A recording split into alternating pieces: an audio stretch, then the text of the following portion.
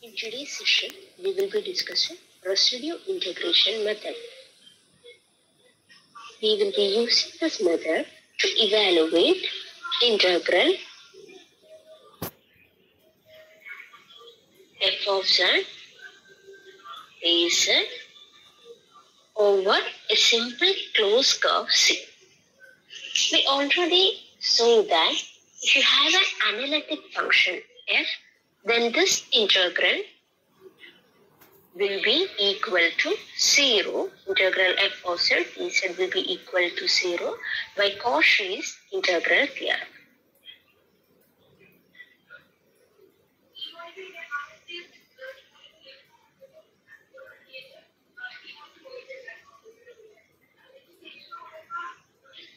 But suppose we have a singularity z naught which lies inside your curve C, then we cannot apply Cauchy's integral theorem. So our aim is to calculate the integral value if you have z naught, if you have a singularity inside your curve of integration. Now we know that if z naught is a singularity, we can write the Laurent series of f as summation a n z minus z naught the whole raised to n where n varies from 0 to infinity plus summation bn divided by z minus z naught the whole raised to n where n is varying from 1 to infinity. And we already saw that the equation for bn is given by 1 by 2 pi i integral z minus z naught the whole raised to n minus 1 f of z dz. Now we can say that if you substitute n equal to 1 in the above equation, we will get b1 which will be equal to 1 by 2 pi i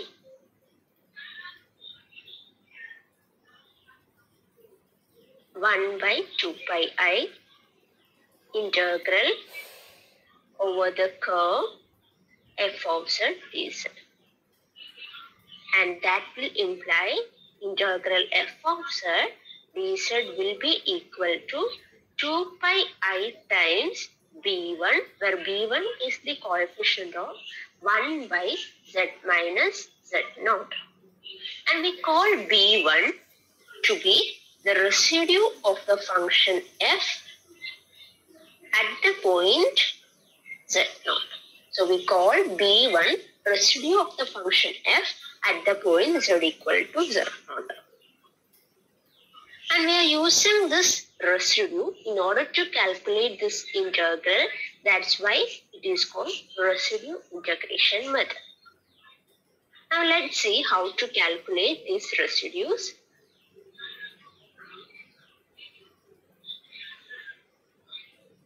Suppose we have the function sine z by z raised to 4. I want to calculate residue at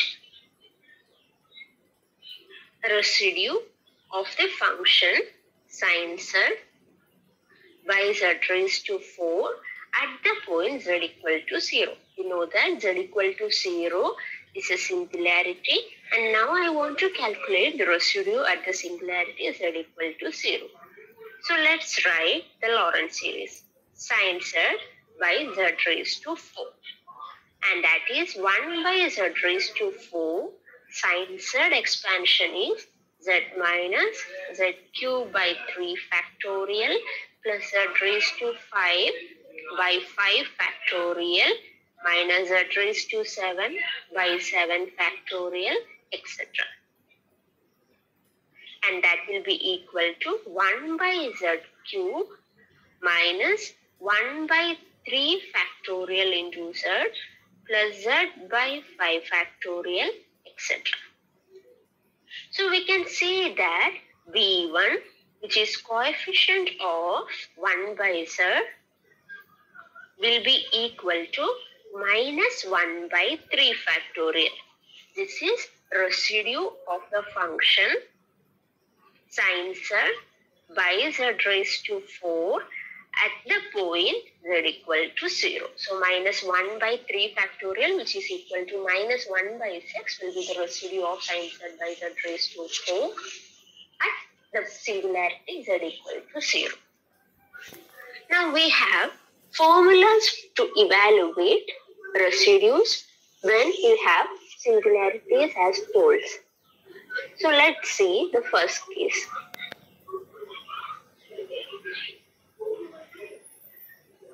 Case 1 is when z equal to z naught is a simple pole. So when you have a simple pole, we know that the Laurent series expansion will be just f of z is equal to b1 by z minus z naught plus the positive terms n equal to 0 to infinity a n z minus z naught the whole raised to n. So residue of the function f of z at this singularity z equal to z naught where z naught is a simple pole is given by limit z tends to z naught z minus z naught into f of z. So this is formula for residue of a function at a simple pole. We have another representation to evaluate the residue at a simple pole and that will be given by suppose your function is of the form p of z by q of z and we have to calculate the residue of the function at z equal to z naught. This will be given by p of z naught divided by derivative of q evaluated at the point z naught provided p of z naught is not equal to 0. So this is residue, another formula for evaluating residue at the point z equal to z naught for functions of the form p by q and p of z naught is not equal to 0. So let's take an example.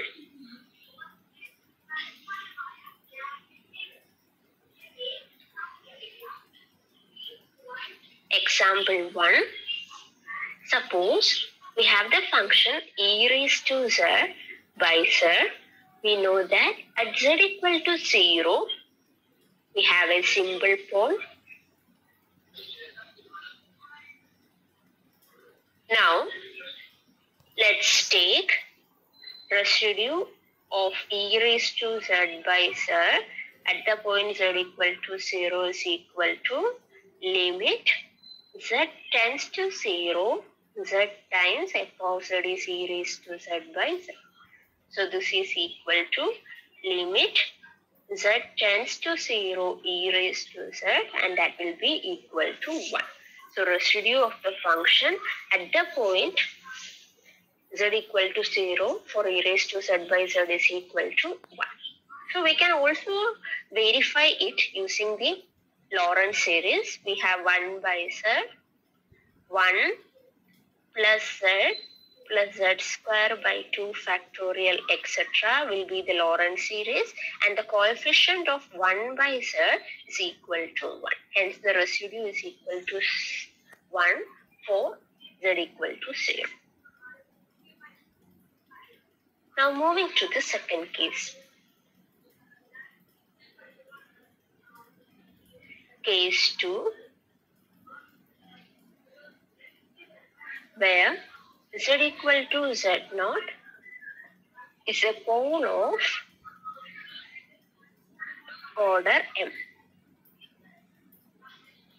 Suppose we have a pole of order m.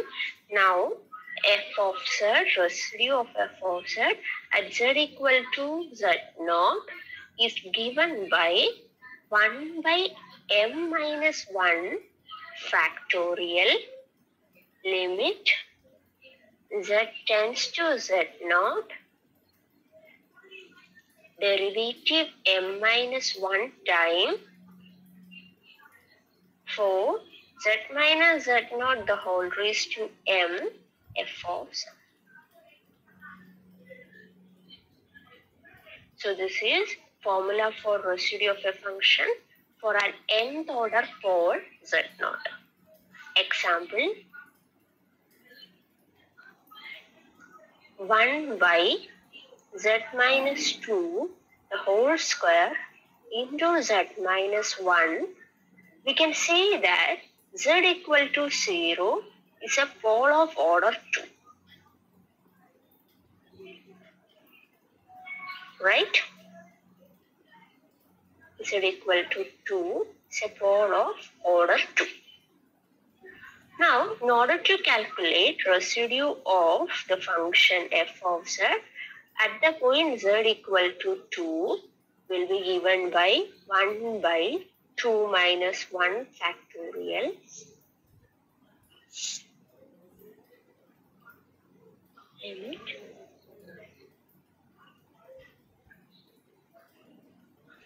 derivative z minus 2 the whole square 1 by z minus 2 the whole square into z minus 1.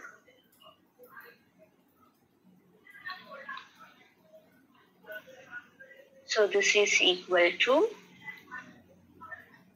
limit z tends to 2 derivative the function 1 by z minus 1.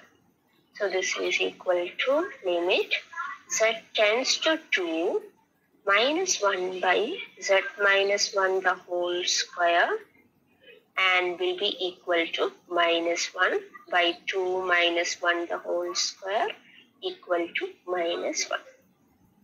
So the residue of the function f of z at the point z equal to 2 will be is equal to minus 1.